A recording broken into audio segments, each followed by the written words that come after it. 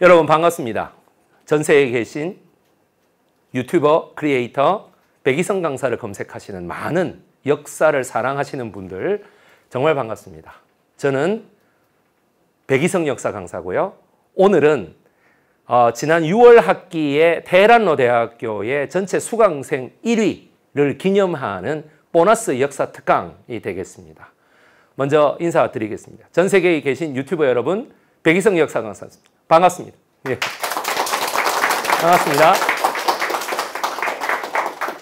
오늘 할 이야기는 킹덤과 좀비의 역사입니다. 이게 우리 고지현 웹디자인 학과장께서 직접 해주신 작품입니다. 예. 요 두 사람이 다른 사람이 아닙니다. 요 사람의 몸무게는 104kg고요. 요 사람의 몸무게는 75kg입니다. 예. 다, 다르지 않습니다. 똑같은 사람입니다. 제발 부탁합니다. 예. 그래서 여기에 보면은 요거는 누굽니까? 유승용 이러면 안 됩니다. 조학주. 그죠? 무섭잖아요. 학주잖아, 학주. 아시겠습니까? 예. 그 다음에 여기는요. 예. 배두나. 그죠? 배두나. 요 사람은 누군지 잘 몰라. 여기는요. 그 호랑이 포수. 그죠? 예. 그 다음에 여기는 여기 이 사람은 김상호 씨죠. 그죠? 무영이라는 사람. 그 다음에 여기는 세자 이창이 되겠습니다. 세자 이창. 예, 뭐 이 씨는 철종 임금 그러니까 임금의 그거는요 왕이고 왕세자건 간에 철종을 제외하면 다 이름이 외자예요 외자 뭐 이금 누구예요 영조 그죠 이산 정조 그거 다 알아 사람들이 드라마 이름이거든 이산 예 그죠 꼭 무슨 이산 가족 같기도 하고 그죠 예 다 알아 이창이라는 이름으로 해놨더라 킹덤과 좀비의 역사. 부산에서 이 강의를 보고 계시는 우리 최 실장님 같은 경우는 가진 얘기 안 해. 최 실장님 같은 경우에는 제가 이거 한다고 하니까 뭐라고 하냐면 오직 한마디 딱 하셨습니다. 뭐, 좀비가 무슨 역사가 있어요. 선생님 그냥 킹덤과 좀비의 뭐 역사적 배경이라고 하든지 그래 해야 되지 않습니까? 라고 저한테 얘기를 했어요. 좀비가 역사가 없다라고 모든 분들이 그렇게 알고 계시죠.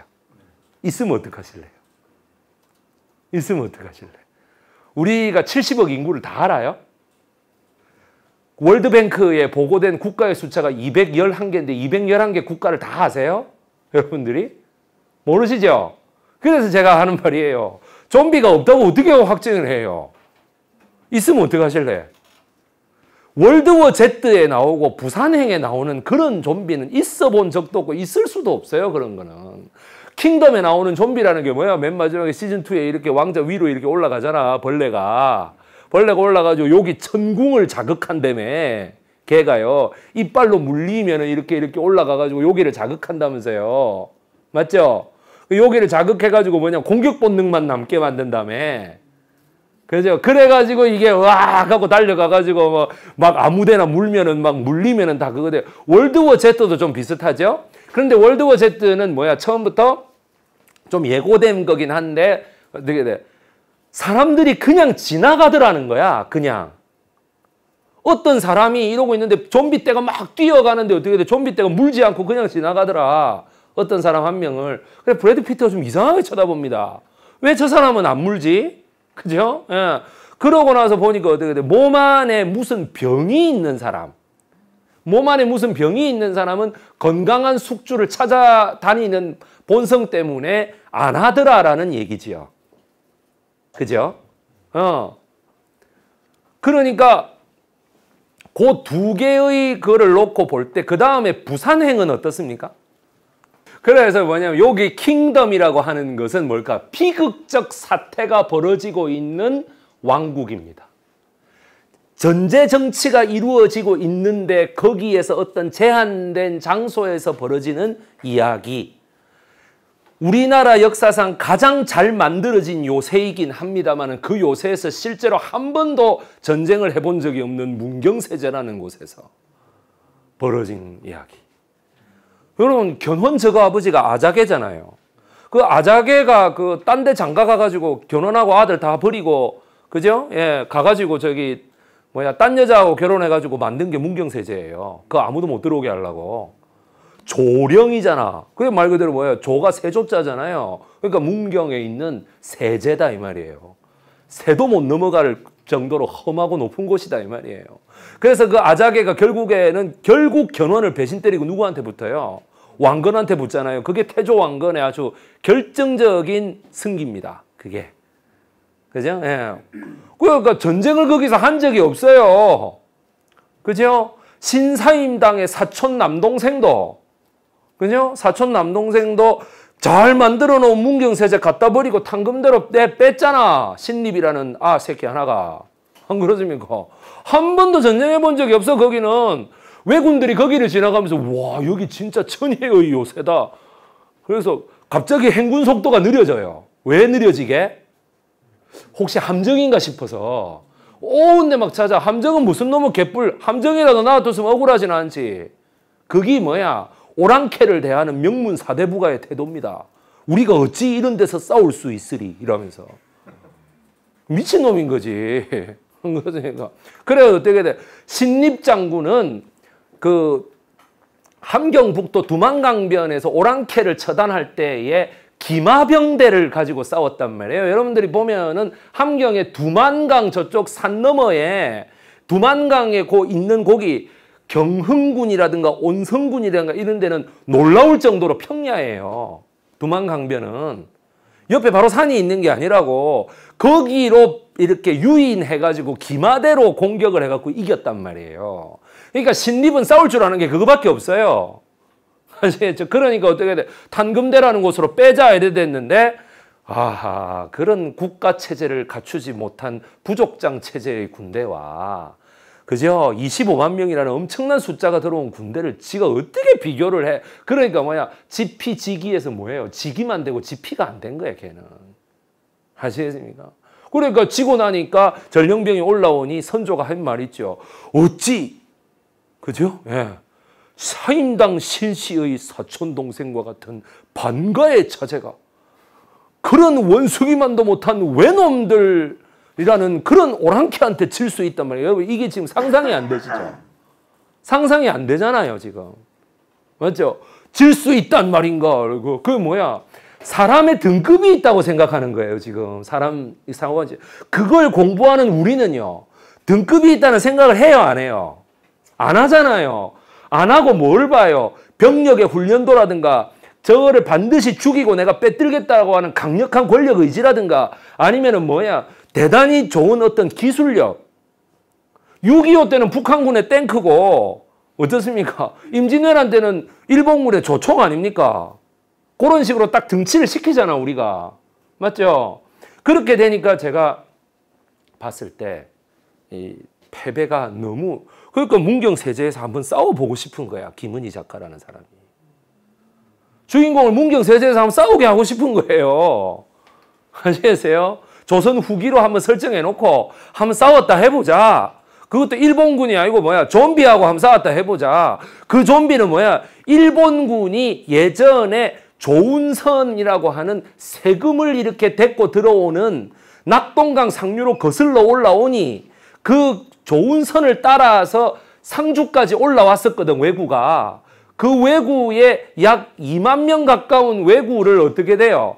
허준호가 이끄는 좀비 군단이 그거를 쳤다라고 하는 그 가정하에 해보자라는 거예요. 우선 거기서 말이 안 되는 거예요. 낙, 낙동강 조은선은요, 문경 세제까지 올라간 적도 없어요.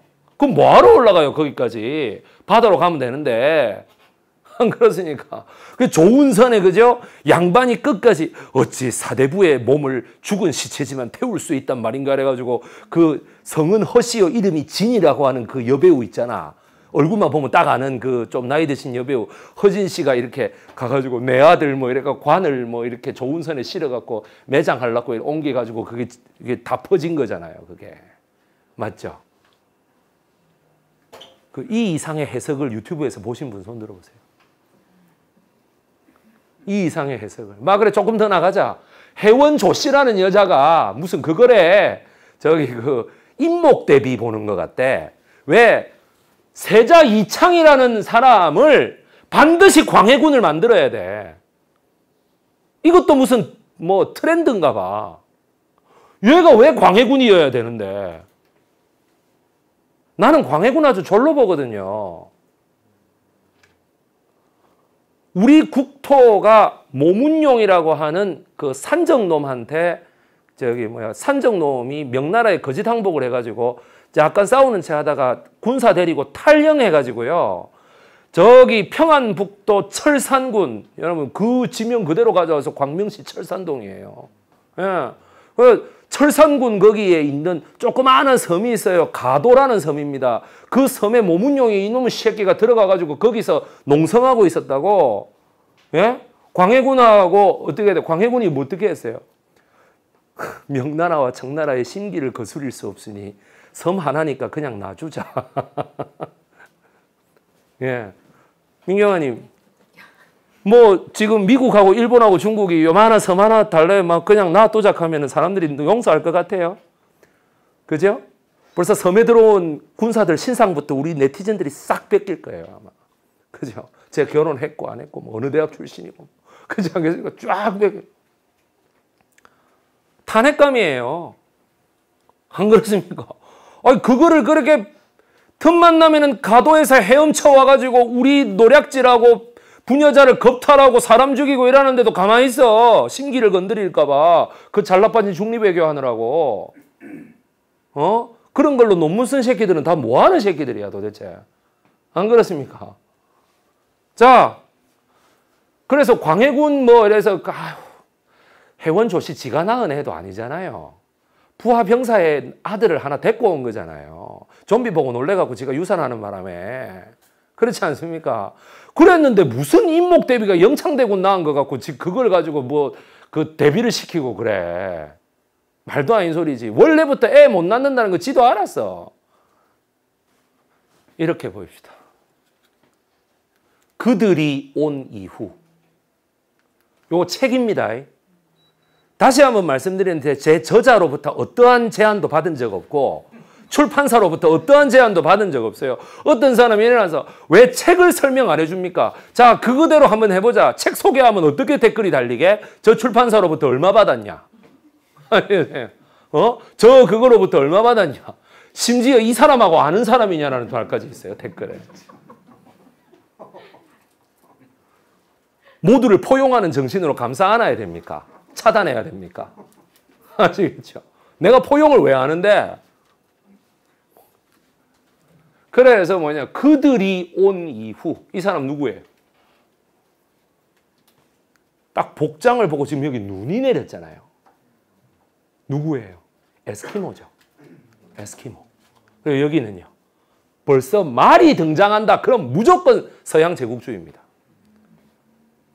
무조건. 몽고가 뭐 때문에 알래스카에 가겠어요? 한번 생각해 보세요. 저한테, 저한테 수많은 사람들이 무슨 댓글을 달아갖고 혹은 메일을 보내서 이렇게 말해. 그 아메리카 인디언이 우리 민족이라고. 거기에 대한 강의를 좀 해달라고. 잉카가 우리 민족이래. 마추픽추가 우리 민족의 조상이 가서 세운 거래요. 예, 그랜드 캐년에 가면은 그 비밀 장소에 가면 CIA가 숨긴 우리 민족의 흔적이 있대. 예. 그거에 이제 바탕이 되는 게 뭐냐면 우리 민족이 전 세계를 다 지배했었대요. 우리 민족이 예전에 내를 보고 어떤 사람이 전화를 해가지고 여기 우리 신촌대 학과장도 했어 그 사람 전화를 해가지고 선생님은 그런 학설에 대해서 어떻게 생각하세요? 그래서 내가 개소리라고 생각합니다. 그러니까 뭐냐 아 선생님 같으신 분도 그렇게 하신다니 정말 이민족이 걱정이네요. 그래서 나 하는 말이 전화를 이런 식으로 걸다니 정말 이 민족이 걱정이다. 내가 속으로 정말 걱정이다. 내가 그런 생각을 했어. 그래서 지금 그분들 말대로라면 그래 저기 콜롬비아나 뭐 칠레나 그죠 잉카 쪽이니까 파나마나 뭐 수리남 이런 데 가가지고 당신네들이 우리 민족이 우리 같은 민족이야 그러면 걔네들이 좋아할 것 같아요. 아, 반갑다. 야, 진짜 같은 민족 만났네. 동양 사람이네. 야, 니 어디 김씨고? 막 이러면서. 뭐랄 것 같습니까? 의대윤씨고 뭐 이러면서 그죠? 영민 씨면 네 삼방파가 뭐 이런 거 물어보 그럴 것 같아요. 아니 왜 이게 말도 안 되는 소리 좀 하지 마세요 좀 제발. 예? 무슨 저 단군의 왕조가 어쩌고 저쩌고 환웅의 왕조가 어쩌고 저쩌고 그런 개소리 좀 하지 말라고 내한테. 말도 안 되는 소리 하고 자빠졌어 진짜. 그래 에스키모가 우리 민족입니까? 그렇게 따질 것 같으면 어? 사모예드라는 그 아름다운 개가 있어요. 되게 예뻐요. 그 사모예드 개를 키우는 게 왜 사모예드라는 말이 나왔냐면 그 종족 이름이 사모예드족이에요. 그 사모예드를 보고도 우리 민족이라 하는 미친놈들이 어디 있습니까? 그랬지만 예? 예쁘기는 사모예드가 더 예쁜지 모르겠는데 우리 진돗개가 훨씬 괜찮아요, 개가. 와, 진돗개는 별가에게 보이는갑지.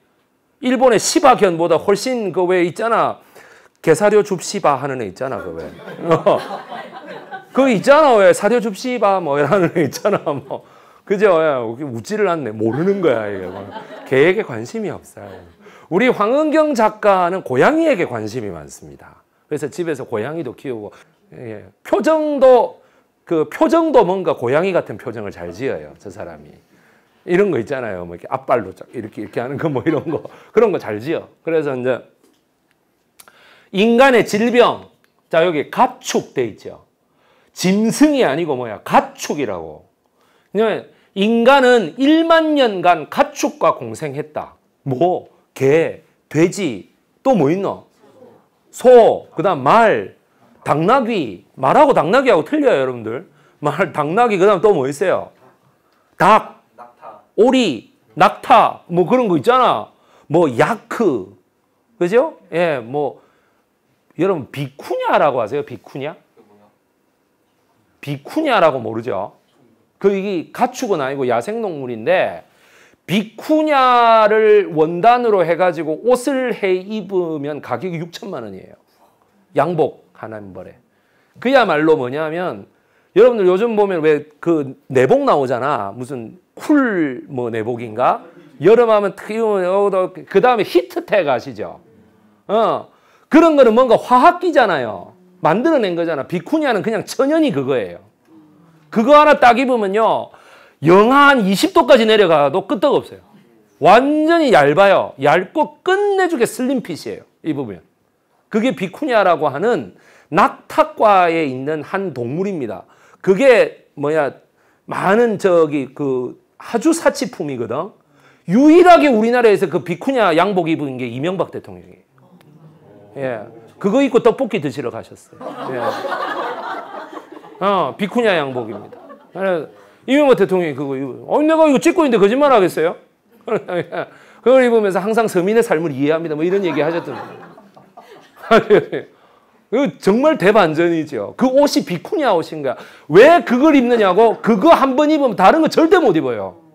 절대 못 입어요. 완전 무슨 이렇게 거적대기를 얹어 놓은 것 같은 느낌이래요. 갑자기 입고 싶으시죠? 여자분들, 그죠? 갑자기 이제 남편에게 요구하는 기준이 이렇게 확 올라가죠. 이게 우리 마누라는 어떻겠어요? 그죠? 우리 마누라는 당신은 그런 거 공부하면 뭐하노? 내한테 한 번이라도 입히 주봤나? 이렇게 얘기합니다. 물론 서울 사람이니까 서울말로 하겠죠. 예, 그죠? 예, 그죠? 내가 뭐, 내가 뭐 서울말 흉내 낼 수는 없고, 그렇지 않겠어요?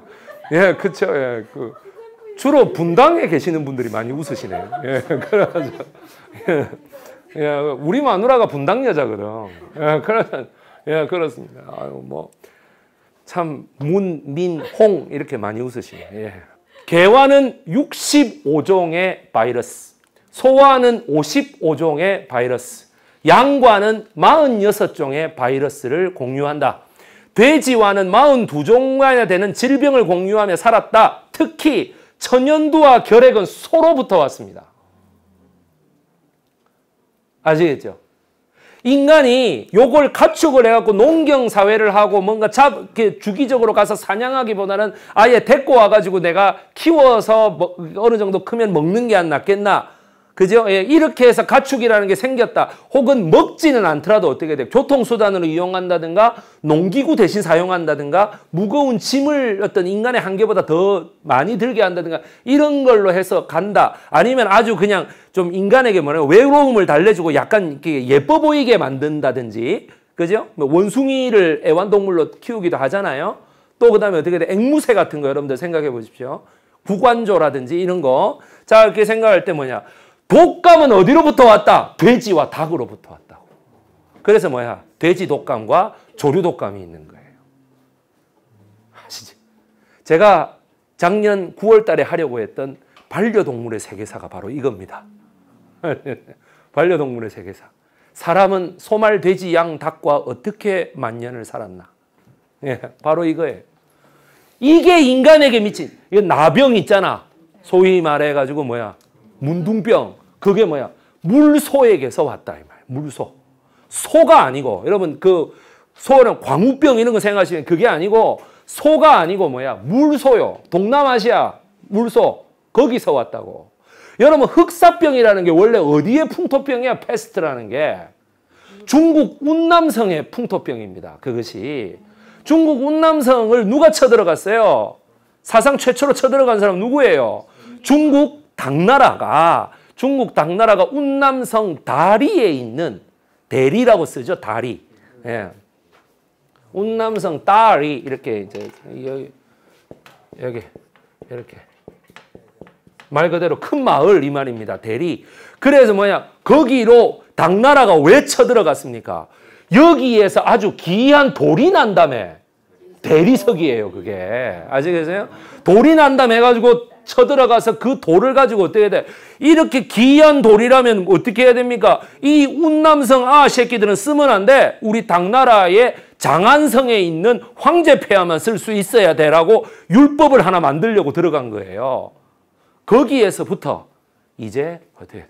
흑사병이라는 것이 중국과 그 중국의 어떻게 돼요? 이 세계 진출을 통해서 세계로 퍼져나가게 됩니다. 아시겠죠? 어. 알겠나? 예. 그냥 간단한, 네. 네. 그렇습니다. 예. 뭐, 알 거라고 보고, 예. 뭐제 설명 듣고도 모르면 안 됩니다. 아무 설명 듣고도 몰라요. 음. 예전에 이제 저에게 사업을 한번 해보자고 어떤 분이 얘기를 하길래 그리고 유튜브에 자기가 이끄는 사업단에 데리고 가서 내 자기 강의를 찍어주면은 그 중국에서 그러니까 자기 업체가 지금 중국으로 진출하기 때문에 중국에서 몇억 명의 구독자가 제 채널로 올 거래요. 제가 거기에서 그냥 그 사람과의 사업이 끝났습니다. 예.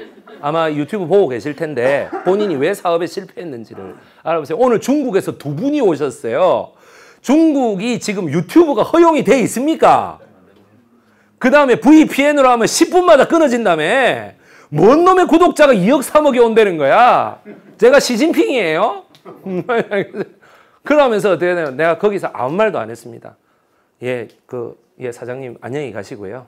예, 저희 다음번에 또 뵙겠습니다. 그러니까 자기가 아, 예, 제가 너무 바쁘신 분을 오래 잡고 있었는데 예, 안녕히 계십시오. 이라고 이제 제가 전화번호도 다 차단하고 예, 그랬는데 카톡도 다 차단해 버렸습니다. 제가 막 거기서 와 이랬을 것 같죠? 안 그래요. 예. 또 그렇게는 못 하겠더라고. 예, 땀 뿔뿔 흘리고 찾아왔는데 안 그렇습니까? 그래서 이제 좀 뭔가 이게 비전을 제시해 주시는 건 좋은데 사리에 맞는 비전을 좀 제시해 달라. 예, 그런 거가 됐습니다. 예, 그래서 이제 물속에서 그들이 오고 난 이후 가축이 없던 신대륙에 가축을 우르르 몰고 왔으니 아메리카 인디언들은 어떻게 됐을까요?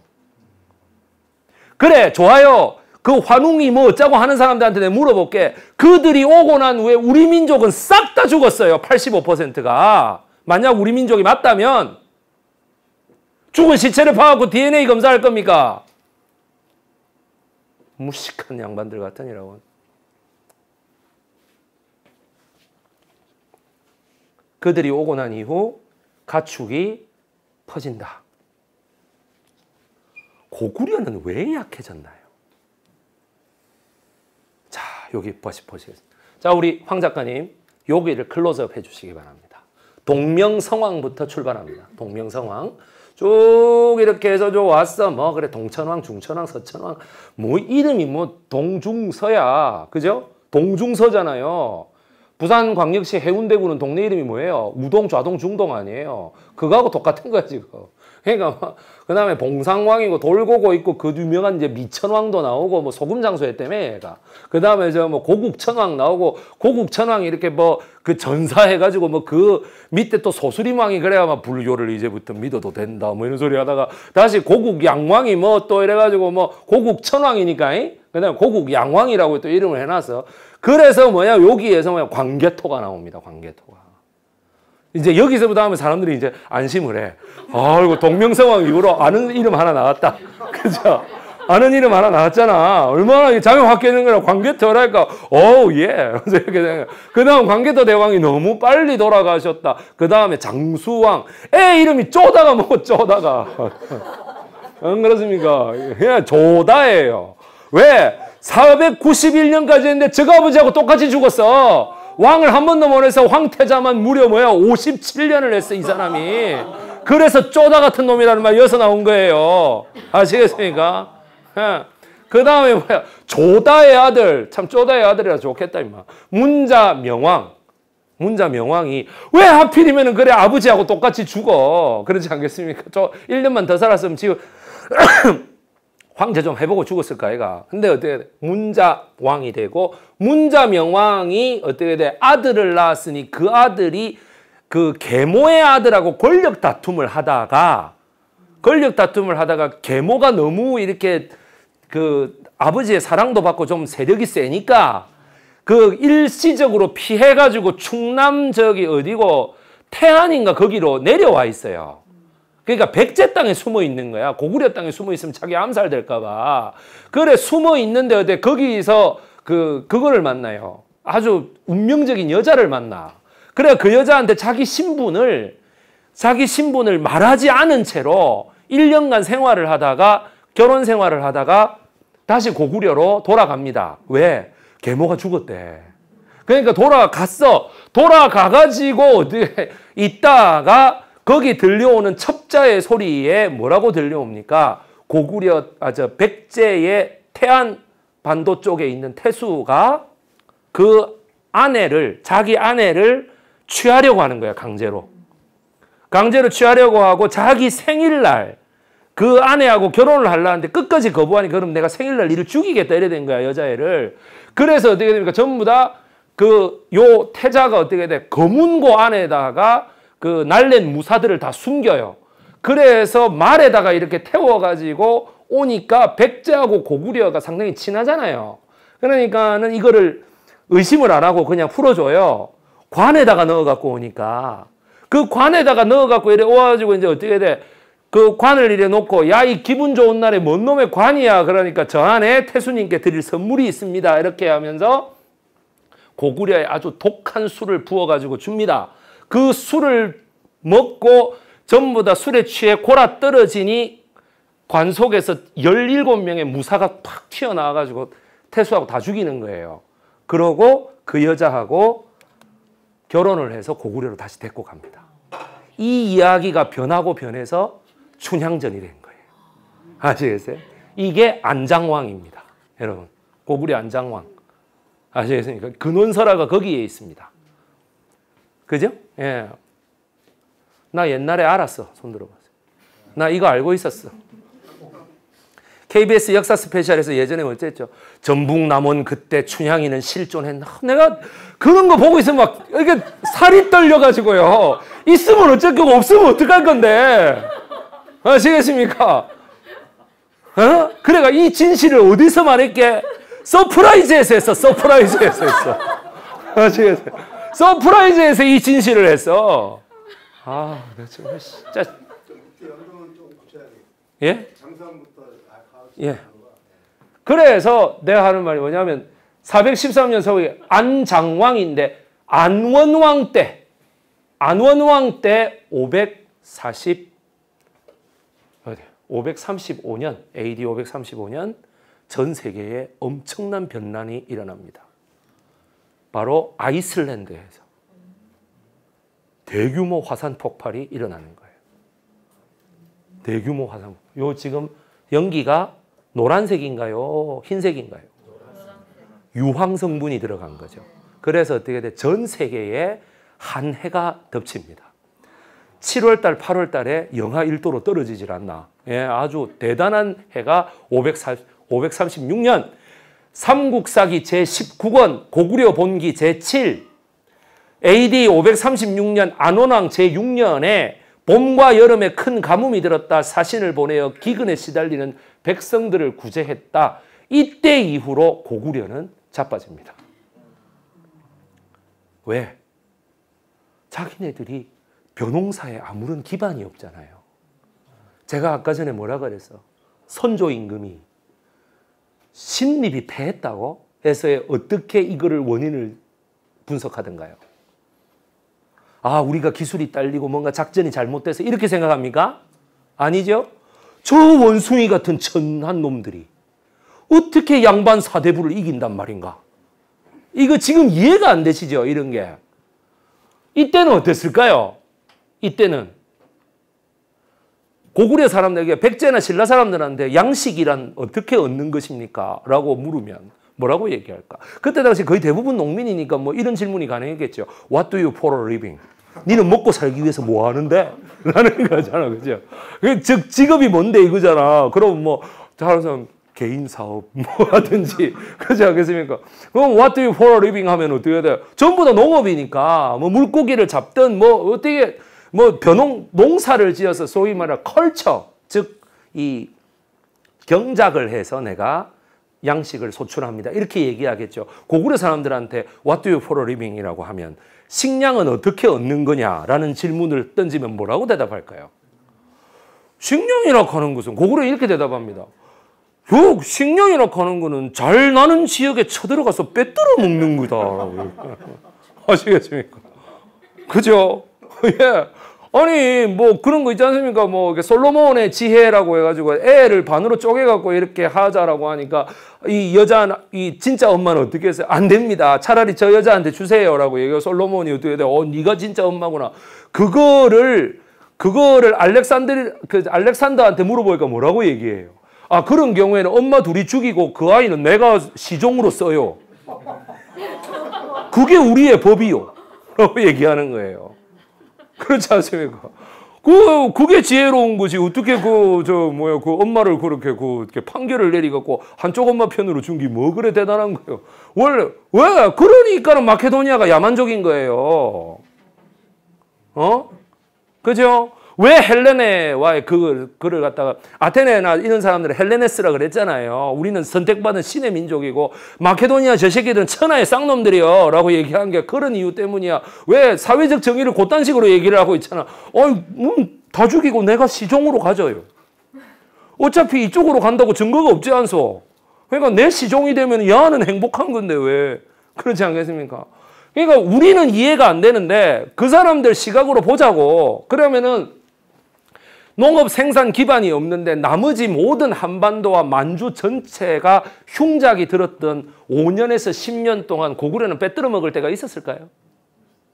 없었겠죠. 더군다나 고구려는 말을 엄청나게 키우는 곳 아닙니까? 그죠? 말에게서 유래된 뭐가 돌았을까요? 말 안장에다가 우리가 놓고 이렇게 타죠. 어디하고 접촉되는 거예요? 사타구니하고 접촉되죠? 여러분 생각나는 무슨 깨름직한 전염병 하나 없습니까? 매독이요. 그죠? 말한 장이 전염시킨 세계 최악의 질병, 매독입니다. 그죠? 고구려가 이래서 나는 망했다고 생각해요. 이때부터 정확하게 뭐야? 안원왕, 양원왕, 평원왕부터 그래서 어떻게 영양왕하고 평원왕이 한 짓거리가 뭐예요? 중국을 쳐들어가는 거 아닙니까? 빼들어 먹을 데가 없으니까 더 이상 야이씨 한판 붙어보자 이거잖아요. 그죠? 소위 말해서 뭐야 이거 중화 사상이 있다 칩시다. 여기가 뭐 북적이라며. 그죠? 여기가 동이라며. 뭐 이런 거 아시죠? 예, 뭐 서융족이 뭐 이렇게 얘기하고 뭐냐면 남만이라면서요. 그러면은 얘네들을 hen 이렇게 구별한 이유가 뭐죠? 때가 되면 들어온다잖아요. 여기 중화에서 늘 하는 말이 뭐야? 천고마비 무슨 계절이에요? 가을이죠. 가을 되면 뭐야? 북쪽 놈들이 쳐들어온다 이 말입니다. 그죠? 예. 천 하늘은 높고 말이 살찐다. 자, 이제 기마대가 들어올 때가 됐다. 이 말입니다. 그러니까 뭐야? 여들은 맨날 들어가는데 우리라고 못 들어갈 이유가 뭔데? 이 말입니다. 아시겠어요? 어. 이렇게 아시고 난 다음에 제발 황산벌 영화를 보십시오. 연개소문이 그, 저, 당나라 황제한테 하는 말이, 내, 너는 왜, 어, 여기에다가 천리산성을 쌓지 말라는데 쌓아가지고 동북아의 긴장을 갖다가 그렇게 놀리느냐라고 당나라 황제가 얘기하니까 연개소문이 뭐라고 합니까? 그 이원종 씨 나오잖아, 연개소문이. 연 카이스원, 그러죠. 카이스원? 이러면서 그렇게 얘기하죠. 거기에서 뭐라고 얘기해? 뭐라고 얘기해요? 예, 내래 성을 쌓든 까부시든 니들이 뭔 상관이야? 한번 해보자 이게야. 이렇게 얘기하죠. 그죠? 어. 맞죠? 그 말이 맞는 거지. 성을 쌓든 까부시든 당나라 니들이 뭔 상관이야 이 말입니다. 그렇지 않겠습니까? 그러니까 요렇게 이해를 하셔야 고구려 후기가 이해가 돼요. 얘들 왜 이렇게 죽자고 싸우고 들었는지. 광개토는요. 더 많이 빼들어 물라고. 그렇습니까? 빼들어 먹어야지, 더 많이. 그러니까 뭐냐면 이러한 그 대규모의 자연재해라고 하는 걸 우리나라만 겪었느냐? 그렇지 않습니다. 유스티니아누스 페스트. 어, 여러분들 구글에 쳐보세요. 나와요. 유스티니아누스 페스트. 예, 우리 그 여흥민 씨 삼방파 민경화님께서 러시아 문학을 전공하셔가지고 동로마 제국 이런 걸 좀 알고 계십니다. 그래가지고 맞아요. 이러면서 끄떡끄떡 하고 계시요 아무도 끄떡 안 해요 지금. 사람들 자체가 몰라. 이게 뭔지 모른다고. 그 사람들이. 아시겠지 어, 나는 아는 거 나왔다. 이러지 마시고요. 모두가 아는 게 중요하잖아요 지금. 아니 제가 우리 민경아 씨가 좋아서 제가 한번 말 붙여봤습니다. 혼자서 끄떡끄떡 하고 있길래 자, 여기 보시면 유스티니아누스 대제입니다. 세계 5대 정복군주 중에 한 사람입니다. 그 정도로 동로마 제국의 그거로서 지중해를 다시 줄리에스 카이사르 이후에 다시 그 로마의 호수로 만들어 버렸던 사람이에요. 그랬는데 이 로마의 호수인데 AD 541년 아까 안원왕보다 5년 그죠? 더 가야 되죠. 5년 더 가서 어떻게 돼? 하루 5천 명에서 만 명이 여기 콘스탄티노플에서 죽습니다. 일주일 동안. 이게 바로 유스티니아누스 페스트. 예, 프로코피우스라고 하는 그 동로마 제국의 그 이 역사 기록하는 사관이 적은 얘기예요. 그래서 대규모 비잔틴 제국을 따라 전 유럽적인 유행입니다. 선페스트에 의한 것으로 판단되고 있습니다. 곡물 창고 벼룩에 의한 전염이 심했다. 이집트가 당시에 촉촉한 땅이었기 때문에 로마의 동로마의 속국이었는데 여기 알렉산드리아 북쪽 30km 지점에 있던 펠리시움이라고 하는 공유 곡물 물류 창고 지점에서 어떻게 돼? 거기에 곡물 물류 창고니까 얼마나 쥐가 많겠어요. 그죠? 그 쥐를 사실 퇴치하기 위해서 고양이가 키워진 거랑 마찬가지예요. 그런데 고양이는 또 어떻게 돼? 털이 많잖아. 옛날에 고양이 털이 를 빗어준다라는 개념이 있었을까요? 고양이는 지가 핥아갖고 그루밍 한다는 개념밖에 없었어요. 그러다 보니까 고양이에게도 벼룩이 더 많이 붙어. 아, 이거 의심나면 황 작가한테 물어보세요. 고양이 키우면서 제일 기분 나쁜 게요. 털 빗기는 거예요. 사람한테 그 벼룩이 안 올라요? 다 올라요. 아시겠죠? 그러니까 곡물 창고에 벼룩에 의한 전염이 가장 심했다. 유스티니아스 527년부터 565년 유스티니아누스 1세의 마누라가 굉장히 유명한 여자입니다. 테오도라라고 하는 그 테오도라인데 이 테오도라가 원래 신분이 장녀입니다. 장녀. 몸 파는 여자였다고. 그런데 황후까지 올라가요. 그래서 아르헨티나에 제가 강의도 있는데 그 아르헨티나의 에비타가 에바 페론이 에바 두아르테 원래 본명이 그죠? 에바 두아르테가 그 퍼스트 레이디 후안 페론의 부인으로서 퍼스트 레이디가 됐을 때 전 세계가 한 말이 테오도라가 returns라는 말입니다. 테오도라 returns. 아, 우리나라 사람들 몰랐을 기라. 이게 무슨 소리고? 내가 테오도라가 뭔데? 그때 영어를 잘 몰랐으니까 returns도 뭔 소리인지 잘 몰랐을 기라. 그죠? 그런 생각 안 들어? 그지? 어. 테오도라 returns 이랬다고. 슈퍼맨 returns 뭐. 에? 저도 보세요. 가라오케 근현대사 returns. 그죠? 어. 그러니까 541년, 535년에 있었던 그거 536년에 있었던 그 세계적인 환난이 5년 만에 전 동로마를 완전히 마비시켜 버립니다. 따라서 동로마 제국의 팽창은 여기에서 끝납니다.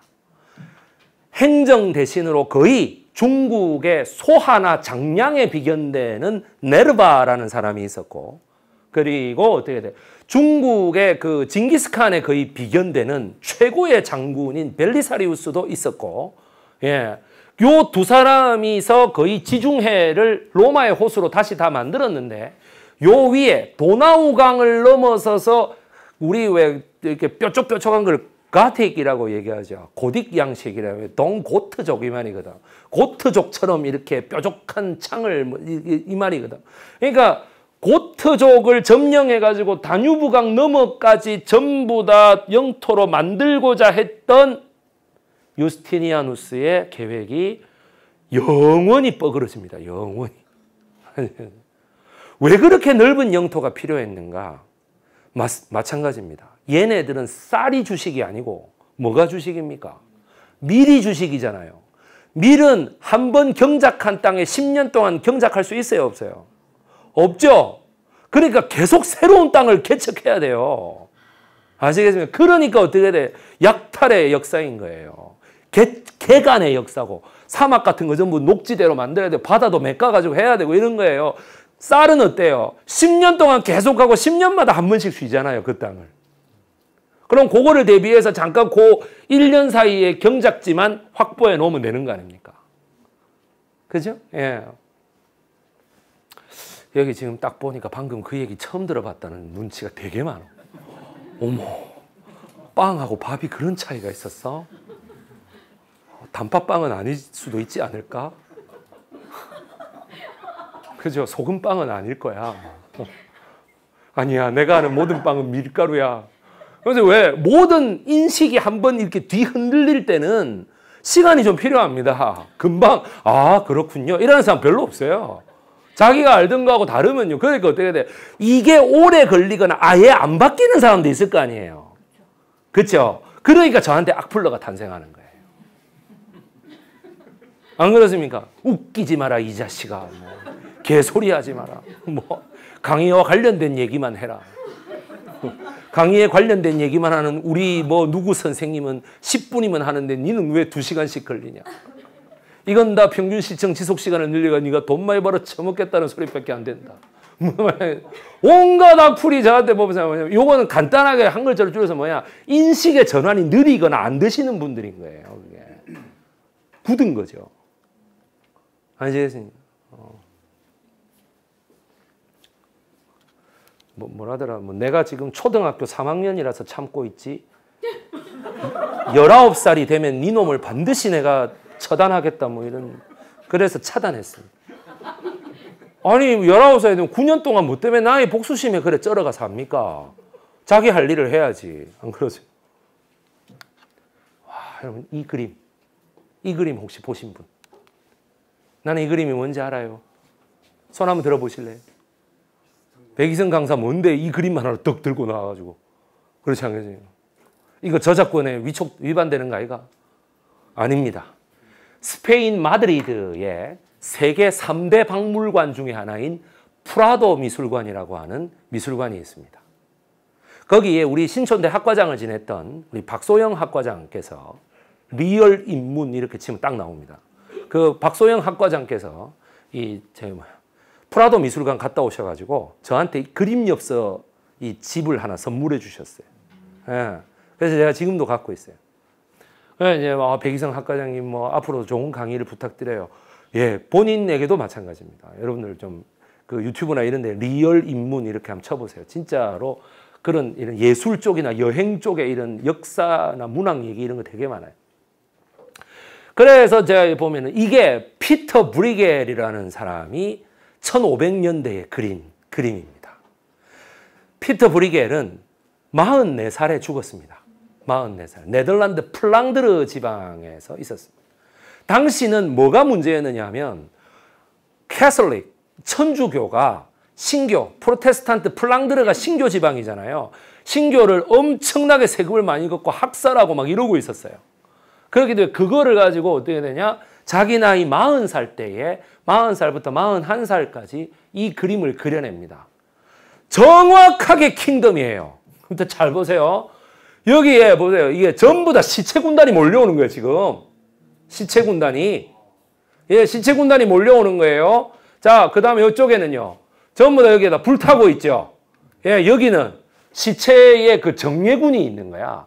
우리가 군대도 왜 특공대가 있고 일반병이 있잖아요. 그래 몰려오고 있죠. 여기는요. 세자 군단인 거죠, 이게. 그리고 보세요. 요거 누굽니까? 좀비로 변해버린 왕. 아시겠어요? 왜 좀비로 변해버린 왕이 선조여야 되는데요? 왜 그 왕자를 굳이 광해군으로 하려 그래요? 왜 해원조씨를 굳이 임목 대비 김씨로 하려 그래요? 왜 원자가 그 나중에 왕위에 오르는 그런 원자를 보고 영창대군이라 그래? 온돌방에서 굽히 주고 나가지고 어? 왜 우리 조선시대의 역사에다 그렇게 다 집어넣으려 그래요? 여기 진짜가 있는데? 어? 피터 브리겔이라는 작품에 보세요. 이게 맞는지 틀리는지. 이 작품의 이름은 Triumph of the Death. 예, 좀비의 대승 이 말입니다. 아시겠어요? 1561년도부터 62년도까지 네덜란드 플랑드르의 작가, 미술가이자 유명한 농민 화가였던 피터 브리겔에 의해서 정확하게 좀비의 존재가 인간의 상상력에 의해 가지고 나옵니다. 벌써. 예. 세계 3대 미술관 스페인 마드리드의 프로도 미술관에 이게 있습니다. 죽음의 승리라고 많이 번역합니다. 근데 뭐야? 좀비의 승리야, 좀비의 승리. 인간의 이성이라는 것은 절대 어떻게 돼요? 죽음의 권세 앞에 이길 수 없다라고 하는 소위 패시미스틱, 염세주의적 이 세계관의 아주 결정파적인 작품입니다, 이게. 이런 명작이 있단 말이에요. 왜 얘기 안 해요? 다른 강사들.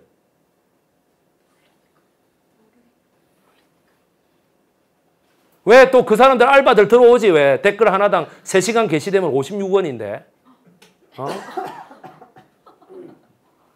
왜 댓글에 요 여러분 보시면 유튜브 댓글에 3시간 전 요런 거 적히죠 그거를 이용해 갖고 3시간이 되면 그러니까 전체 공개로 3시간이 돼야 돈 56원을 줘요 한 개당 선풀을 단 사람 그 왜 여기 우리 차장호님께서 아니 뭐 이름 나와도 되죠. 네, 차장호님께서 저에게 만약에 어 백이성 강사님 고생하십니다 뭐 이렇게 달잖아요. 그럼 고기다 대고 악플을 달면은 10원 더 줘요. 아시겠죠? 왜냐하면 아무데나 뻥 던지는 게 아니라 그거는 목표 사격이잖아요. 안 그렇습니까? 10원 더 줘요. 내가 그거 잘 알고 있어요. 죄송합니다만은요, 그 투잡으로 부업을 하시는 분들은 절대로 저한테 오시지 마세요. 제가 15분마다 한 번씩 체크하고요. 자동 차단어를 해놨기 때문에 그 차단어가 총 1760개 정도 됩니다. 아, 선풀도 제대로 안 달립니다. 이게 적다 보면은. 예. 화이팅 이런 것도 전부 차단어입니다. 왜냐하면 거기에 빨갱이 화이팅이 한번 등장했기 때문에 제가 화이팅이란 말 자체를 아예 차단으로 해버렸어요. 예. 그렇기 때문에 절대로 오시지 마세요. 돈 못 버세요. 아시겠죠? 그러니까 어떤 사람이 이래 댓글을 저기 통합 댓글 관리 시스템이 있습니다. 거기에 보면 한 100개 동영상에다 단 거야. 2시간 전부터 제일 짧게는 뭐야? 6분 전까지 쫙 이게 안 게시가 안 되잖아. 자꾸 차단됐습니다. 그러고 게시가 안 되니까 마지막에는 온갖 욕을 다 적어 놓은 거예요. 얼마나 화가 나겠어요. 100개를 달아가지고 자기는 지금 5,600원을 벌어야 되는데 안 그렇습니까? 이러면 쫙 올리 그래가지고 뭐냐면 댓글의 내용이 특정 강사를 찬양하는 내용이에요. 그럼 그 사람이 그 준 거 아니에요 지금 보면서 그랬더니 간단해요. 스팸으로 신고를 딱 누르면 100개가 싹 사라져요. 아시겠어요? 예. 예, 스팸으로 신고 딱 누르면 돼요. 100개가 싹 사라집니다. 예, 두번 다시는 저한테 와서서 그 지랄 하지 마세요. 예. 여기 보십시오. 살아있는 사람들이 방패로 막고 있죠. 여기 지금 뭐야? 전부 시체 군단이죠. 이쪽 이쪽에서 계속 오죠. 여기 지금 동굴을 통해서 오고 있죠. 그죠? 이제 왜 여러분 문경세제 전투가 그렇게 묘사됐는지 아시겠습니까? 어? 이제 이해가 되세요? 김은희 작가가 뭘 보고 그렇게 구상했는지? 한국적인 게 아니에요. 이게 전 세계적인 심상을 건드리는 거예요, 지금. 옷만 한복이야. 시대만 조선시대고. 아시겠어요? 글로벌한 것을 노리는 걸 로컬로서 표현하는 게 어렵겠어요? 글로벌하게 표현하는 게 어렵겠어요? 로컬로 표현하는 게 어렵단 말이에요. 그걸 왜 로컬로 해석하고 자빠졌냐고. 그걸 참고하라고 주는 윤범기나 참. 진짜. 형님 이 사람보다 잘하셔야 됩니다.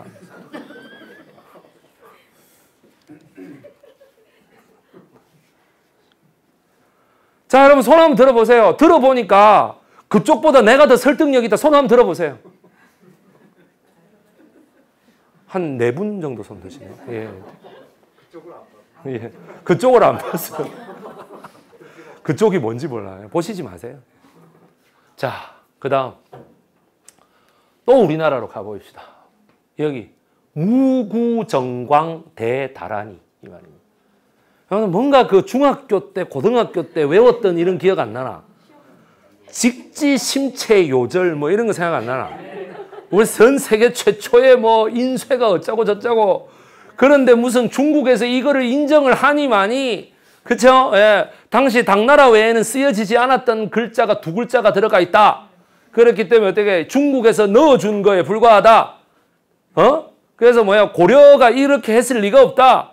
그 다음에 일본은 무조건 부정해. 한국이 왜 말도 안 돼. 그냥 직지심체 요절도 뭐. 그리고 또 어떻게 돼? 우리나라 사람들 또 그 어른들 하는 말 있어요. 구텐베르크가 뭐 서양에서 했을 때는 성서를 마구 찍어냈는데 우리나라는 뭐 고작 찍어낸 게 몇 개 없어가지고 인쇄술을 그렇게 발달시켰음에도 문명을 발달시키지 못했다. 개코 같은 소리 하고 있. 무구정광 대따라니경 내용을 아세요, 여러분들? 그 안에 무슨 글자가 적혀 있는지 아시냐고? 석가탑에서 발견됐잖아요. 1967년도인가 그때 석가탑을 중수하다가 그 안에서 갑자기 발견됐잖아. 우리나라 역사학계나 불교학계에서 아무도 몰랐어요. 이 의미를. 도대체 무슨 말인지. 왜 이게 석가탑 안에 두루마리 형식으로 들어가 있는가. 이렇게 이렇게 휴지. 여러분 휴지 생각하시면 돼. 이렇게 쫙 펼쳐서. 아, 다야. 1200년을 꼬불채 제가 있어요. 이게 참 펼치는 것도요. 펼치기만 하면 이렇게 도로 다시 말릴 거 아니에요. 그러니까 이거를 그대로 또 갖고 있으니까 가운데가 뚝 찢어질 거 아니야. 온갖 그 장치를 다 해가지고 이렇게 딱 지금 펴서 이제는 이 구불러지는 이 동그래지는 성질을 다 잃었습니다. 이게. 예. 그래서 이제 이렇게 딱 펴가지고 있습니다. 여기 요 대는 그대로 복원을 해가지고 이렇게 있는 상황입니다. 그래가지고 조선일보에서도 보면 무구정광 대다란이경의 이동 박상국 원장이 주는 조선일보 참 이런 기사는 조선일보밖에 안 써 또. 왜? 다른 데는 돈이 없어서 이런 거 써봤자 안 팔리면은 안 써요. 아시겠죠? 그런데 여기는 돈이 좀 있잖아. 그러니까 안 팔리는 것도 뭔가 구색을 맞출 수 있잖아. 안 그렇습니까? 그래서 조선일보, 중앙일보가 의외로 이런 이미지들이 많아요. 근데 또 출처 안 밝히면 내보고 뭐라 한대. 1차 경고 들어갑니다. 뭐 이런 거 있죠. 그래서 이미지 출처 조선일보. 뭐 봉인하지 않으면 뭐 다보탑이. 그래, 이게 여러분 다보탑은 왜 다보탑입니까? 석가탑은 왜 다보, 석가탑입니까? 뭐 저기 백제에서 어떤 저 석공이 와가지고 뭐 이래 하니까 뭐 그림자가 안 비치고 저거 마누라는 기다리다 지쳐가 물에 빠져 죽고 계속 기다리지 만다고 지쳐가 물에 빠져 죽고 그 소식을 듣고 너무 슬퍼가 자기도 물에 빠졌으니 그 뭐야 연못에 그림자가 안 비치더라 해서 무영탑이라고 했다. 근데 중요한 건 거기 호수가 있어 본 적이 없거든. 어디에 그림자가 비친다는 거야 도대체. 그렇지 않겠습니까? 그래서 뭐 하여튼 그랬다 치자 그래. 뭐 다보탑도 그래 보니까 무슨 다보 열애가 옛날에 중국 불경에 보니까 대승불경에 무슨 다보보살이라는 사람이 문수보살하고 쌍으로 나와가지고 항상 있으니 문수보살을 상징하는 석가탑과 다보보살이 있는 다보 열애가 있는 다보탑을 함께 지어야 하느니라. 막 그래 그까지 알겠다 그래. 그거 알아내느라고 욕 봤어요. 문제는 뭐야? 무구정광 대다란이가 무슨 뜻인데? 자 보시죠. 바라문이요. 누가 누가 누굴 보고 얘기하는 거예요? 석가모니 시달타가 깨달음을 얻어가지고 저기 초전법륜지에서 약 40년 동안 83세에 열반에 들기 쿠시나가라에서 열반에 들기까지 쭉 돌아다니면서 예, 그 얘기한 걸 다 모아놓은 게 뭐 아미타 경이고 뭐 이런 경전이란 말이에요.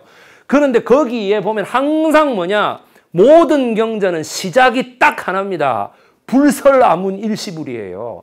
나는 이와 같이 들었다라는 걸로 시작합니다. 모든 불경은. 왜냐하면 아난 존자라고 하는 애가 전부 들은 걸 갖고 oral tradition으로 이렇게 구전하는 내용이기 때문에 그걸로 시작하지 않는 불경은 싹 다 위경이에요. 그거는. 아시겠어요? 어. 그러니까 그거를 안한존자와 함께 늘 같이 다니면서 소위 수행하는 애들이 있을 거 아니에요. 걔네들이 총 108명이었다고. 그래서 그걸 뭐라 그래? 산스크리트로 아라한이라 그래요. 부처님의 말을 직접 들은 애 이 말이에요. 그러니까 영어로 말하면 뭐야? 직접 소리를 그러니까 한자로 얘기하면 직접 소리를 듣는 물이 이 말이죠. 그 뭐야? 성문이라고 합니다. 그걸. 아시겠습니까? 성문. 아, 성문 기본 영어 이런 거 생각하지 마시고. 아시겠어요? 그러면 뭐 저거 동생은 해법인가? 뭐 이런 생각 좀 하지 마시고. 맨투맨 어때? 뭐 이런 거 하지 마시고. 아시겠죠? second to none 뭐 이런 거 얘기하지 마시고. 아시겠죠? 예. 갑자기 윤범기가 어 그거 내 다섯 번 봤는데 아마 이런 그걸로 과외도 했는데 뭐 이런 할까요? 바라문이요. 당신은 7일 후에 이 세상을 떠나게 되었어.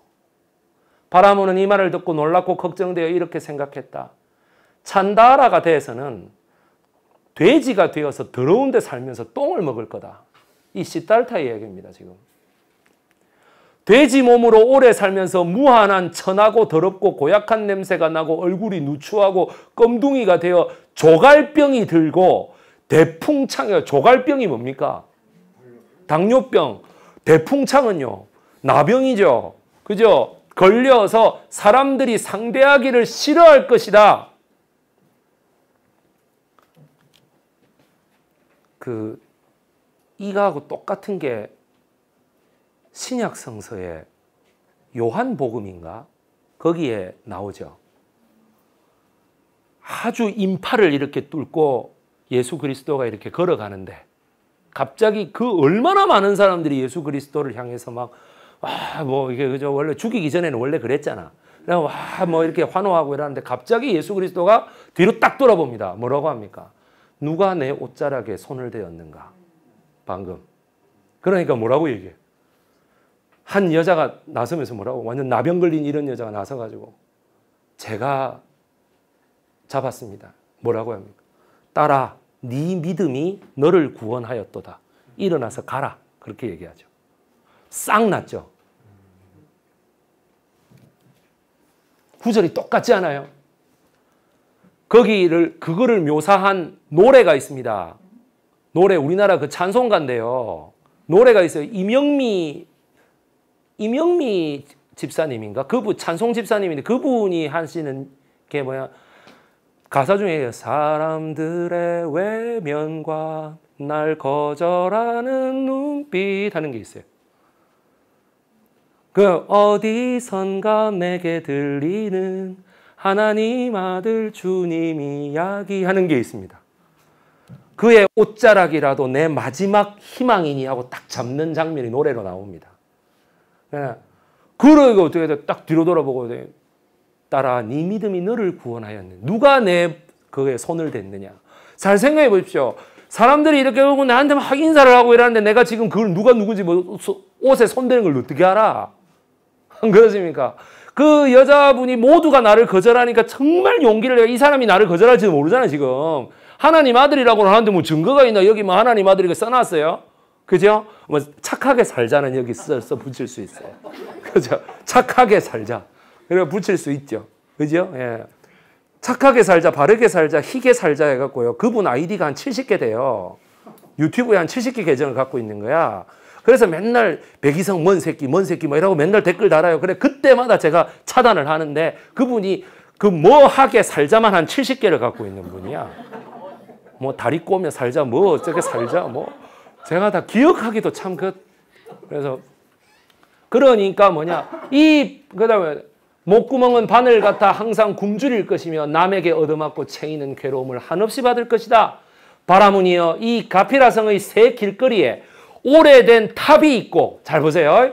그 탑 속에 여래의 사리가 있느니라. 지금 그 탑이 무너져가는 터이니 탑이 무너진다 이 말이에요. 그대가 가서 탑을 중수하면서 상륜당을 만들고 상륜당 동그라미로 이렇게 쫙 위에 탑을 만들고 그 속에 다라니를 넣어서 외우라. 아시겠습니까?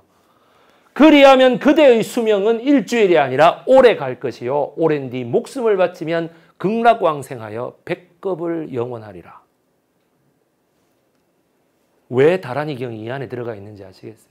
이게 뭐야? 무구정광. 정광은 뭔 소린지 아시겠지? 깨끗하게 뭐가 씻긴 할때 우리가 이런잖아. 정한수를 떠다도 뭐 이렇게 얘기하잖아요. 그 정, 그 다음에 뭐예요? 광이라는 말은 빛이 된다는 얘기예요. 무도 알겠죠? 무도 모르시겠는 분은 나가세요, 그냥. 난 저게 뭔 소리인지 난 저런 한자를 난 태어나서 처음 봤어요. 나가, 나가, 그냥. 유튜브를 끄든지. 아, 왜 무는 설명 안 해주노? 뭐 이런 소리 막. 구가 뭐야, 구. 때요, 때. 때. 아시겠습니까? 때. 무구. 때가 없는, 그런데 이 구가 뭐예요, 여러분? 옛날에는. 때가 아니고 뭐야? 박테리아란 말입니다. 이게. 아시겠습니까? 얼마나 많은 사람들이 전염병이 무서웠으면 얼마나 많은 사람들이 병균이 보이지도 않고 도대체 왜 걸리는지도 모르겠고 그러니까 어떻게 해야 돼요? 신령에 의지할 수밖에 없고 무당에 의지할 수밖에 없는데 그러다 보니까 무당들이 그 권력을 가지고 온갖 횡포를 다 하지 않았겠느냐. 예쁜 여자 있으면 지가 취하려 그러고 그 마을에 그죠? 좀 부자 있으면 돈 내놓으라고 막 협박하고 오죽 그랬으면 그 옛날에 오죽 그랬으면 세상에 애를 갖다가 종 만드는데 집어넣었다 하겠어요. 안 그렇습니까? 어? 그거 막 우리 아까지 다 데리고 가서 근데 거기를 또 그 떼가지고 진짜로 인간이 들어갔나 안 들어갔나 보는 역사 스페셜은 뭡니까? 그 없는 것 같죠? 진짜로 들어갔는가? 빰빰빰빰빰빰빰빰빰빰빰빰빰빰빰빰빰빰 했어요. 진짜예요. 빠밤 빠밤 빠밤 빠밤 하면서 했어. 정말이야. 역사 스페셜 하면서 성덕대왕 에밀레종 거기에는 사람이 들어갔는가 모르. 아, 진짜 죽이고 싶다. 아니 알고 모르고를 떠나가 그게 왜 중요한데요? 하는 말이 극락 세계의 왕색. 예수 그리스도도 그러니까 뭡니까? 그걸로 온 사람인 거예요. 가장 눈에 보이는 게 뭐야? 병을 고치는 거예요. 병을 고치는 거. 사람들이 가장 무서워하는 게 뭐야? 병이에요. 병 걸리는 거예요. 흑사병이라는 게 있다는데 그게 쥐에 의해서 그 쥐털의 벼룩에 의해서 아니 그걸 요즘에 아는 거지 무슨 그때 어떻게 알아 사, 사람들이 그 속수무책으로 다 죽을 수밖에 없다. 지금 의료 시설이 이렇게 잘 돼 있고 하는데 코로나 때문에 이렇게 사람들이 벌벌 떨어 막 어떻게 어떻게 막 어떻게 이런데 아, 옛날에 어땠겠냐고. 지금 코로나가 무서운 이유는 오직 하나입니다. 어? 뭐야? 백신도 없고 치료제도 없기 때문에 그래. 백신하고 치료제 있으면 뭐 무서울 게 뭐 있어. 걸리면 그거 가서 맞으면 되는 거고 뭐 걸리기 전에 한 대 맞으면 되는 거지. 그렇지 않겠어요? 나라에서 그거 돈 받겠어요. 지금 그거 나라에서 만약에 10만 원씩 받는다 해보세요. 혁명이 일어나요. 그거. 거의 반 죽일 거예요. 완전히 그냥. 이것들이 진짜 이러면서 막 그죠? 예. 그러니까 공짜로 맞춰줘야지. 그러니까 지금 보건복지부가 벌벌 떨어요. 예산 없다고. 아시겠습니까?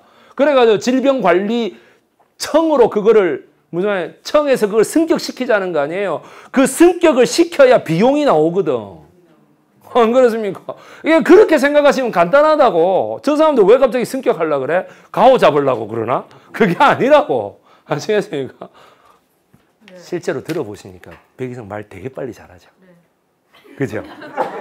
그죠? 실제 강의장에 오시니까 완전히 다르죠. 네. 어, 유튜브하고 그죠? VPN으로 10분마다 이렇게 끊어지는 거 보다, 보다가 그죠? 예, 예. 그렇습니다. 예, 그 시진핑을 두려워하시는 우리 크라운님 마스크를 벗지 않고 계십니다. 혹시나 사진이 찍힐까 싶어가 그래서 제가 이름으로는 불러드리지 않고 자꾸 크라운이라고 부르고 있는 이런 상황입니다. 동학이 번성했던 이유. 윤번기하고 패친을 맺으시면 갑자기 뜨는 이동학이가 아닙니다. 아시겠죠? 청년 정치인 중에 이동학이라고 있어.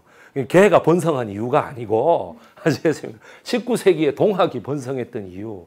번기 알겠나 봐라. 지금 동학 얘기해도 아무도 안 웃어. 이게 지금 굉장히 그 심각한 상황이야. 지금 빨리 개로부터 하여금 좀 인기 정책을 펼치게 해야 돼. 아시겠죠? 그러니까 아무도 안 웃는다고 지금. 그러니까 동학이 번성했던 이유. 뭐라고 생각해요? 모르겠어요. 잘 모르겠죠. 예. 뭘 기대하겠습니까? 그러니까 여기 생사역 조선을 뒤덮은 의문의 역병에 걸린 사람. 여기 해원 조 씨가 감염된 거. 그죠? 해원 조씨 대비가 감염된 거 아이가 이거 지금. 맞지? 그래갖고 어, 이렇게 다가올 때 얘기잖아요. 이거 킹덤에서 따가지고 그 킹덤에서 페이지에서 받아온 거예요. 생사역이라는 게 있다며. 잘 보세요. 이제 슬슬 시작해요. 아직까지 시작을 안 했단 말이가. 뭐 역사 역사 스페셜 그 뭐야 효과음까지 지 입으로 내 사티만은 뭐냐 언제까지 더 기다려야 되노? 빨리 좀 나온나 좀 이런 그런 거지. 12제국의 괴질 운수 타시 개벽이 아닐런가 용담 유사입니다. 수은 최재우가 처음 한 말로서 해월 최시형이 구술한 내용입니다. 12제국의 괴질 운수 다시 개벽이 아니던가. 역병과 재해, 19세기 콜레라의 충격과 조선사회의 반응. 제가 이렇게 한번 여쭤볼게. 내 앞으로 다시 가볼게. 사람들이 이거를 잘 모르시더라고. 그들이 온 이후라고 돼 있잖아. 제가 이렇게 한번 여쭤볼게. 우리 쇄국 정치라며. 쇄국이라며. 쇄국이 아니고. 쇄국 정치라며. 교류가 없었다며. 그러면은 일본 사람들 들어오고 프랑스 사람들 들어오고 이러는데 우리는 남미처럼 전염병 안 돌았을까요? 예, 그런 생각 안 해보셨어요, 여러분들? 우리는 남미처럼, 남미는 사람들은 뭐 와가지고 뭐 이렇게 하니까 뭐 가축이 없어서 그런 건 있겠지만 전염병이 돌아가 거의 다 죽었다며. 85%, 뭐 90% 이렇게. 그래서 지금 있는 인디언들은 다 그 제대로 된 인디언이 아무도 없어요. 토착민이 없어요. 아시겠죠? 그럼 우리는요? 우리는 한의학이 되게 발달해가지고 전염병이 되게 강했어요. 여기 한의사분들 계실지도 모르겠지만 내가 한의원 원장님들한테 정확하게 그랬어요. 한의학은 그때 당시에 전염병에 아무 효능이 없었어요. 아무 효능이 없어서. 오직 뭐야 평소에 건강하게 생활하면 어떻게 돼? 안 걸린다 이거밖에 없었어요. 우리는 그런 거 없었을까요?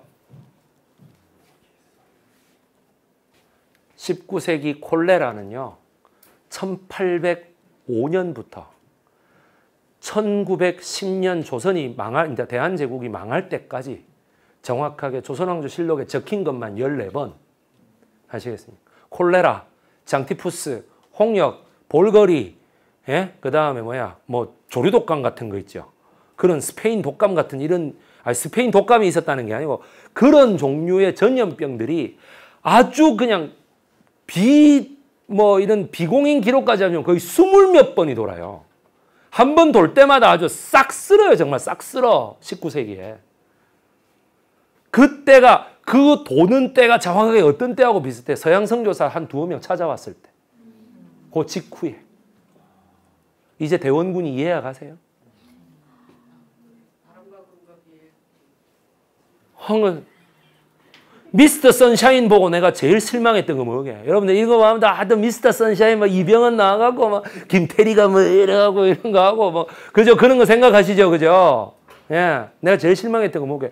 역병이 안 나와, 역병이 미쳤어요. 병인 양요하고 신미 양요하고 강화도 조약하고 여러분 저기 뭐지 그런 거는 전부 역병이에요. 그냥 그게 정확하게 언제까지 됐냐? 1945년부터 46년 사이에 전국을 공포에 떨게 만들었던 뭐 호열자 정말 장티푸스입니다. 1945 그때까지가 말 그대로 뭐야 마지막 전염병이었어요. 1946년도 3월 아 저 1월 달에 어떻게 돼? 1월 달에 김정숙이 바로 누구예요? 아 지금 문재인 대통령 부인 말고 저기 김정숙이 누구야? 김일성이 마누라 아닙니까? 김일성이 마누라가요. 김정일이 저거 동생이 있었어요. 김정일이 저거 동생이 뭐야? 죽어요. 호열자로. 그 숨이 넘어가는 거 보고 김정숙이가 난리 부르스를 쳐요. 김일성이한테. 돌아가자고. 소련 땅으로 다시 돌아가자고. 이 한국 땅, 걔는 한국 땅에 살아본 적이 없어요. 만주에서 태어나가지고 소련 갔다가 이렇게 남편 따라 이렇게 간 사람이라고. 안 그렇습니까? 그러니까 어떻게 돼? 얘 죽고 이러니까 와 이거 그래도 빨리 돌아가자 이러니까 그때 어떻게 해공 신이키가 그 정보를 딱 입수하고 어떻게 됩니까? 오케이 지가 무슨 지도자라고 새까마이 어린 놈의 새끼 연병을 해라 아주 말 그대로 연병이죠.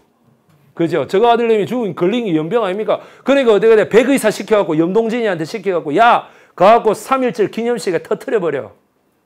그래가지고 폭탄을 터트려서 폭탄을 던지는데 그 노비츠키인가? 그 소련에 그 소련 군정이잖아. 그 소련 애가 이게 뭐고 수류탄이가 이러고 이렇게 들어올리다가 뻥 터진 거예요. 터져서 노비츠키가 왼쪽 팔이 절단되고 양쪽 눈이 멀어요. 그죠? 그런데 어떻게 그 단상 옆에 있던 여기가 단상이죠. 여기 나와 서 있던 김일성이가 단상으로 팍 숨습니다. 게릴라 출신 아이가. 그래가 반으로 딱 숨어. 그때 뒤통수에 파편이 와서 탁 박힙니다. 여러분 잘 아시는 신체적 특징 하나 있죠. 왜 수술 안 하지? 그거 하다가 암살당하면 어떡할 건데. 여기 척추하고 연결되는데 그거 하다 지 죽으면 어떡할 건데. 그죠? 그래서 가만 놔두고 있었던 거예요. 청년 때 사진 보세요. 그 자국이 있는지. 없어요, 그런 거. 네, 우리의 암살 시도는 오직 그거 하나만 남겼다. 그때 죽어버렸어야 되는데, 그거를 뭐라 그래? 불행부중이라 그래요. 그죠? 이봉창 열사가 천왕이 어디 탔노? 이래가지고 확 던지니까 어떻게 돼? 다섯 개의 마차가 가는데 다 검은색 천을 두르고 있어. 어디다 에라이씨 모르겠다. 두 번째 이랬는데 그 바로 뒤에 거야. 그래서 중국 상하이의 모든 신문이 뭐라고 썼어? 불행부중이다 이거요. 정말 불행하게도 못 맞췄다. 아깝이 말입니다. 그러니까 어떻게 돼? 불행부중이니까 아무도 안 웃다가 이제 아깝이라니까 웃는다 사람들이. 사람들의 언어 수준이 이 모양. 내가 그래갖고 뭐야? 짜자지가 꽝 터지니까 어떻게 불행 부중이라니까 어떻게 됩니까? 일본의 군부가 어찌 돼? 이 새끼들하고 쳐들어간 거야. 그게 상하이 사변입니다. 그러고 나서 이긴 거를 기념하기 위해서 뭐야? 홍콩 공원에서 하다가 도시락 폭탄에 날아가는 거죠. 아, 46년 1월 달에 마 죽을까 아이가.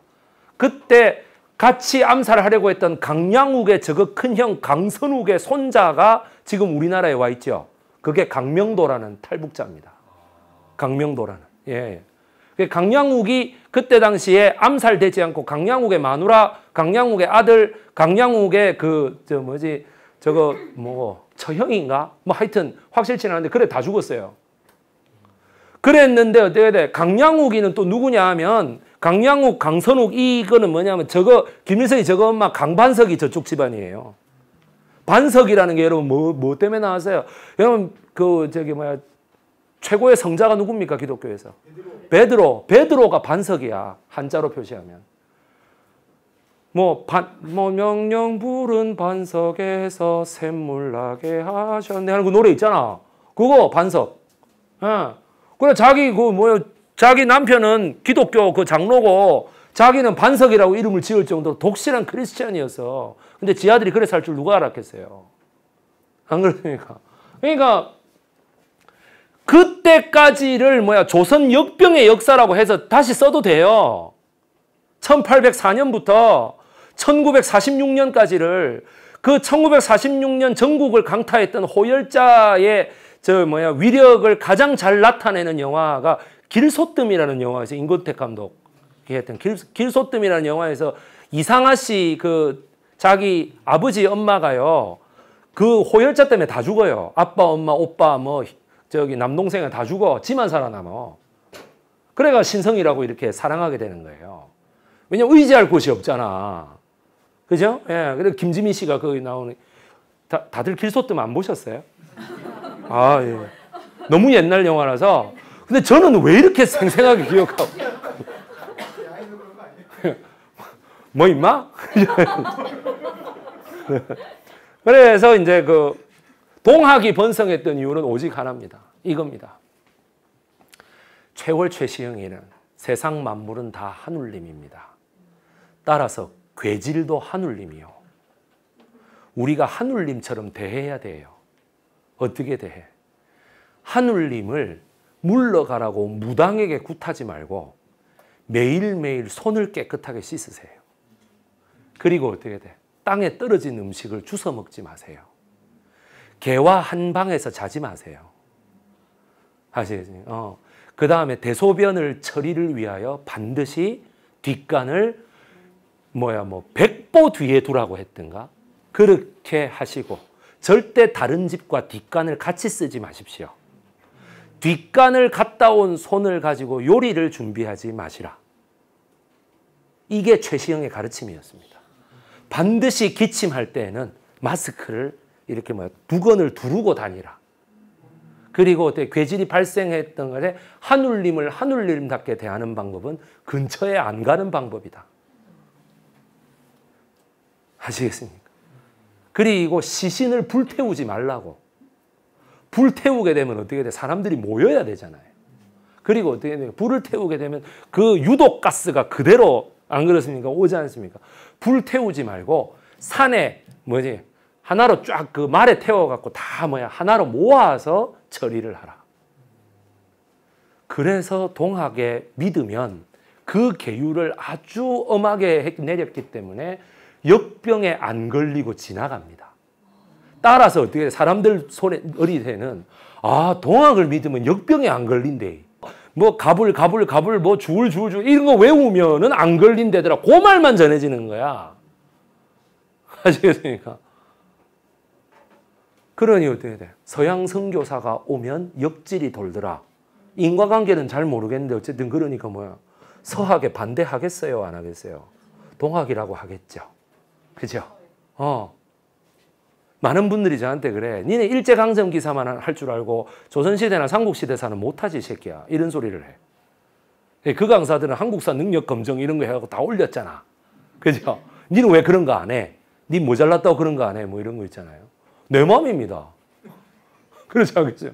어, 내가 하고 싶으면 하는 기고, 뭐, 인연이 되면 하는 기지. 지금 여러분들이 한번 보세요. 그, 저번에 제가 얘기 안 합니까? 강남역에서 만난 그 여자 고등학교 1학년이 뭐라 그래? 역사 그 선생님한테 사도세자가 미친놈이고 아 사도세자가 미친놈이고 영조가 착하다. 아닙니다. 저 유튜브 백이성 강사 얘기를 들으니까 사도세자가 착한 사람이고 영조가 개사이코락 했어요. 그렇게 얘기하는데 저 뭐 뭐라 그, 그 역사 선생님이 그 유튜브에 떠드는 놈 그건 다 미친 놈들이야. 그 선생님이. 근데 그 선생님 나이를 모르면 한 29 정도 됐더라고. 남자 선생인데. 내가 그래서 미친놈, 누가 미친놈인지 한번 해볼까? 내가 좀, 아시겠습니까? 저를 보고 미친놈이래요, 그 선생이. 내가 어느 요건지 알거든. 내가 유튜브에 바로 한번 방송에 실명 때려볼까요? 그 사람이 내보고 미친놈이라 했다 그러면 아마 그 교감하고 교장이 저한테 전화 올 거예요. 저그 부분 좀 삭제 좀 부탁드리겠습니다. 그러면서 제가 대신 사죄를 드리겠습니다, 선생님. 아마 그럴 거예요. 아이고, 미친 사람이 한 350만 명 되는가 봐. 그죠? 그 조회한 사람 350만 아닙니까? 오죽 하면 고성은 기자가 웃고 있어요, 지금. 무슨 선생이 또 그런 소리를. 그지 않겠어요? 그 조용히 끄덕끄덕 하고 있는 고성은 기자입니다. 예. 자, 정순 왕후부터는 5분 쉬었다가 진행하도록 하겠습니다. 1부 여기에서 마치겠습니다. 감사합니다.